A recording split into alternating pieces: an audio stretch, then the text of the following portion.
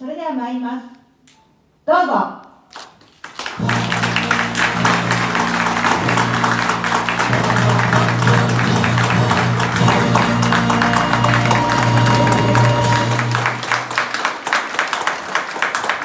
皆様ありがとうございました。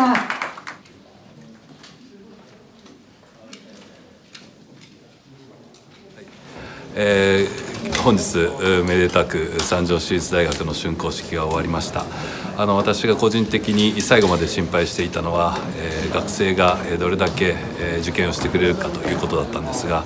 あの本当にえー想像を上回る方々に受験をしていただき、えー無事、えー今日滝沢市長さんから82人の入学者が発表をあの合格されたというふうに伺いました。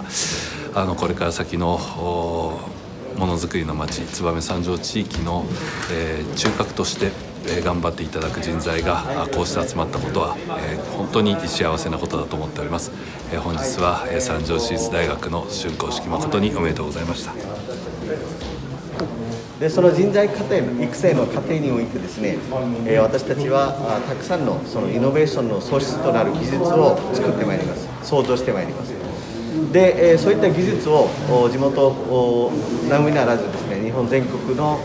そのものづくりですね、えーのそのイノベーションの種になるというふうなことを期待しています。